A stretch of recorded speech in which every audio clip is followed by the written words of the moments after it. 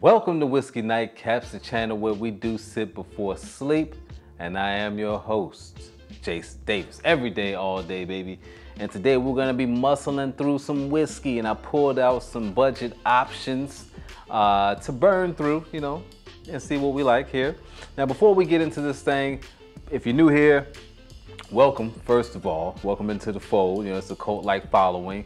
Go ahead and hit that subscribe button, hit that notification bell so you can get these videos and hit the like button so everybody else knows that they should be watching this video.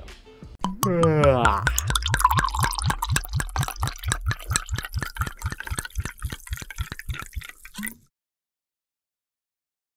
right, so we're gonna do two separate verses. We're doing a verses like Swizz Beatz and, and, and Timbaland, but the whiskey version, but we're gonna do in two rounds, or, or really maybe about four rounds. Wild Turkey 101 versus Evan Williams Bottled and Bond.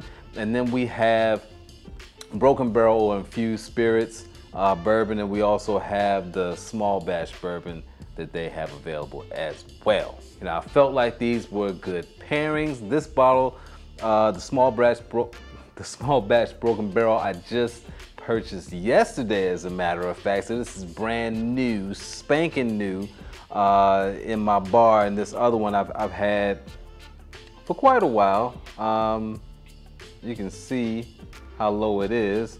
Cindy's like, looks like it needs to be shaken up a little bit. I don't know what that is floating around in there, but I'm sure it won't kill me. All right, so we're not messing around, man. Let's go ahead and get into this thing. This is a not so blind. I don't have anybody here with me at this point to pour this stuff for me so that I won't know which whiskey it is. So we're just gonna have to deal with my biases today. All right, we're gonna start with the 101 versus the B&B, okay? The Evan Williams B&B and see what we have here. It smells banging in here, by the way, with all these whiskeys on the table. I don't know what that is. I don't know if it's a collection of all of them together in the air or if that's one in particular to stand it out, but it smells great. Almost like when I first brought this barrel in here and it started to leak on the floor. That was, that was awesome. All right, so let's start with this Wild Turkey 101, which we know is a fan favorite, not just of myself, but everybody. Name me someone that doesn't like Wild Turkey 101, straight up. Tomorrow they'll be missing. Let's go to the nose on this thing. You get that beautiful caramel right up top. You know, that's the sweetness of the corn. Followed by the rye. Classic bourbon flavors. I mean, and, and that's why it's so loved. You know, you got that vanilla extract wafting across the top as well.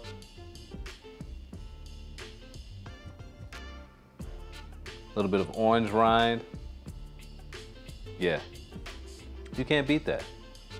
Well, the only thing that can beat the smell of it is what's about to happen, which is it going down the gullet. Let's go. You know, you get that sweetness up front. It's followed by a rush of that spice. And it is warm going down. What do they say, Kentucky hug? Is that what they say? This is like a bear hug. Later on the finish, you start to get some of that sweetness,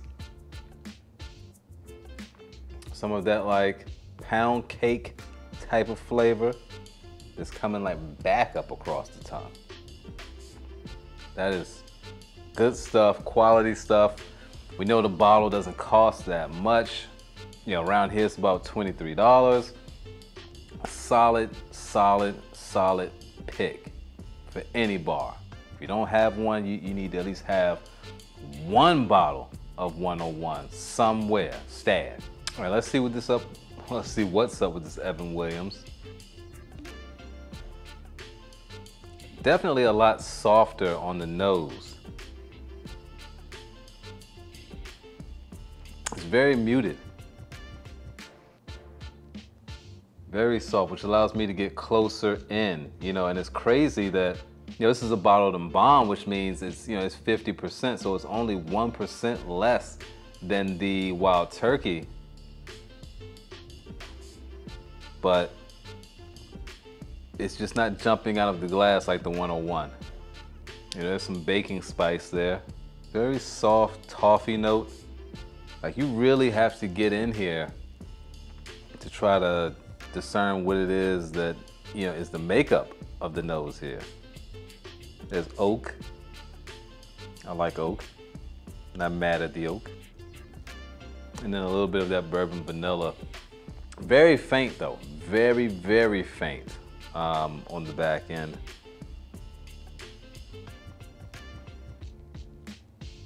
Yeah, the most predominant note here is the baking spice. Like I said, you really have to get in here to pick that up. All right, let's see what it tastes like. Oaky. Kind of reminds me of uh, Jim Beam. Yeah, kind of reminds me of like the Jim Beam um, single barrel. There's some cinnamon. Layer it with a little bit of vanilla syrup, or vanilla extract, but not heavy. You know, the cinnamon is probably the most pronounced note on the palate. Not bad. I mean, it tastes like your average bourbon. I mean, this bottle I think was $17. You know, so a, B&B for 17 is, is really not that bad. We know that's a, a minimum at least of four years, 50% ABV. What more are you looking for? You know, if we're talking in terms of budget whiskey, and even though I'll be honest with you guys, I'll be straightforward, I am making a pact with myself after a recent experience. I'm gonna stop experimenting with budget whiskey, seriously you know, versus having like four budget whiskey bottles that you don't like, you can have one premium whiskey that will be knocking your socks off, you know. So I, you know, maybe for the purpose of doing videos, but just for myself, I'm really not, I'm really not into it anymore. You know, this is leaving like a taste, like an aftertaste. Um, not too kosher with that. Might come from me rambling though. Not bad, like I said, 17 bucks. What are you gonna do? You know, let it sit for a second. We'll come back, we do round two. But while we're doing that, we're gonna move over to our next duo. Uh, yeah, which is super confusing because they both say broken barrel and infused spirits, but like in different spots of the bottle. Like in one, it's more pronounced. It says you know, infused spirits. This one says broken, but then it says broken barrel at the bottom. I don't know. This one actually gives you the mash bill on the bottle, which is 70% corn, 21% rye, 9% malted barley, and it gives you the oak bill. So basically it's telling you what type of wood was used uh, to flavor this whiskey, which is 40% ex-bourbon barrels, 40% new French oak, 20% sherry cask oak. And the reason why they call it broken barrels because they actually take barrels apart, break up the staves, and put it in the whiskey to impart that flavor. Now this one doesn't have the breakdown, but it does say that it's French oak, ex-bourbon cask, and Oloroso sherry. This is batch 007. Check that out, 007. It says every batch of infused spirits, broken barrel bourbon is aged in charred American oak barrels and infused with French oak, Oloroso sherry, and ex-bourbon cask until balanced and smooth. All right, so let's start with this one, which is the infused spirits.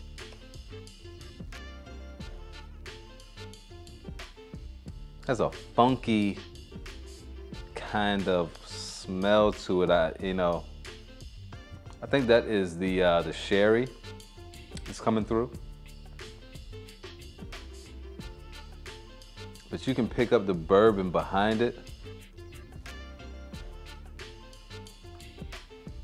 But I'm definitely picking up that sherry note. So it, it, it you're getting like uh, that raisin type of smell. Then a little bit of the spice from the bourbon. But definitely a heavy, you know, reddish purple fruit note. Let's see how it tastes. Because I actually haven't had this in probably about a year. It's just been sitting here. You know, it's really soft on the tongue. Not a lot of bite. It's what you would call a smooth whiskey. Again, classic bourbon flavors. There was a little bit of the sherry that, that was starting to come through on the back end, but you know, as it continues to roll, it's more of like the the rye spice that's coming out that I'm, I'm picking up here. And you know, I, I, don't know if a lot of this comes from oxidation as well. You know, this isn't giving me what I used to pick up, which was more of like a, uh, what we call a French apple pie. All right, so let's go to the Broken Barrel. This is the small batch, the one that's 70% corn. That's interesting. What is that? It's got like a candy corn nose. Like a bag, that Halloween candy corn.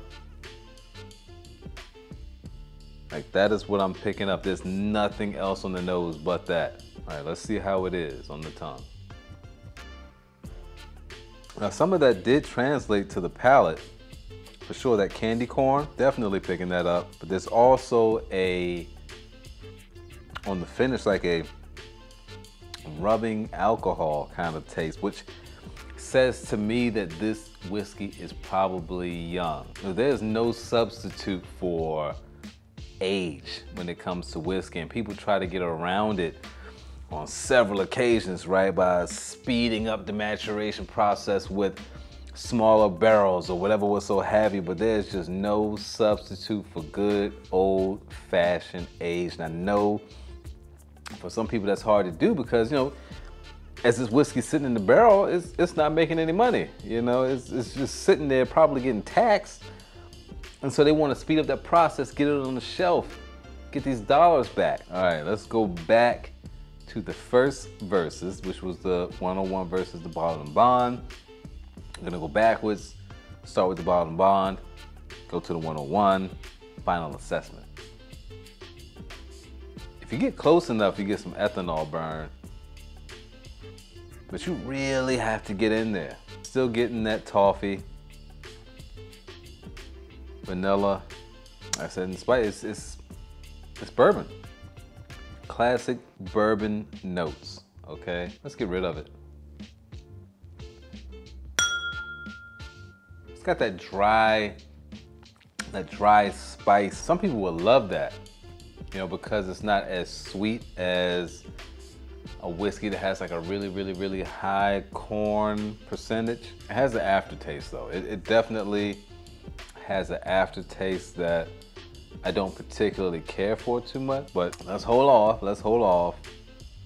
Let's give this 101 a chance and see if it's quality. And the nose on this thing is crazy. Like, I, you know, this whiskey never ceases to amaze me and I'm always so uh, just just thrown off by the fact that it's only like 23 bucks. Like they must have like a ton of whiskey in storage where they're just trying to get rid of this stuff, right? Because you could easily sell this probably for about $40 for sure. But let's see what we got here.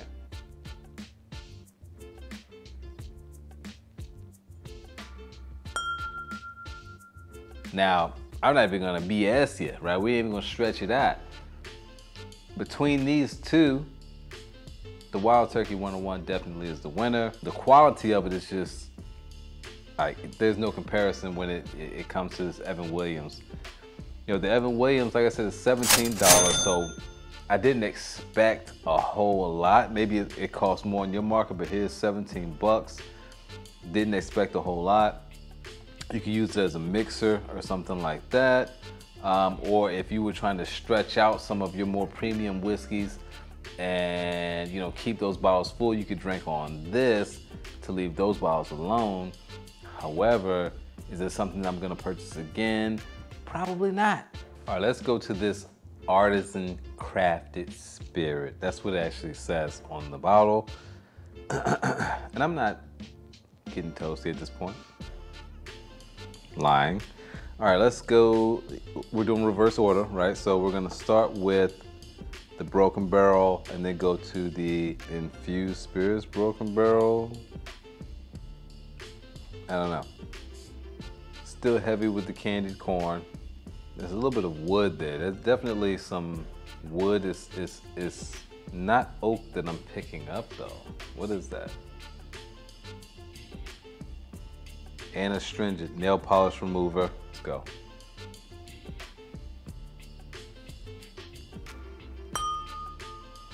Like I said, when it first hits your, your tongue, you're like, this is an interesting whiskey, it has a different taste to it, pretty decent. As the finish comes about, you know, you're like, okay, if, if my child scraped their knee, I could put this on a uh, cotton ball.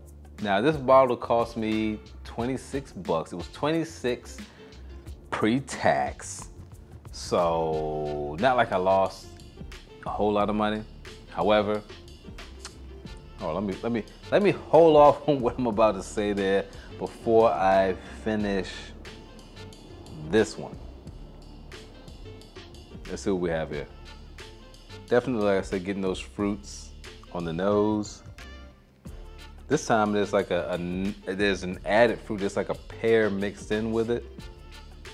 A pear and the raisin. Slight spice. Not really heavy, more like a nutmeg versus the cinnamon. I mean, it smells pleasant, very soft, cool. See what it does on the palate.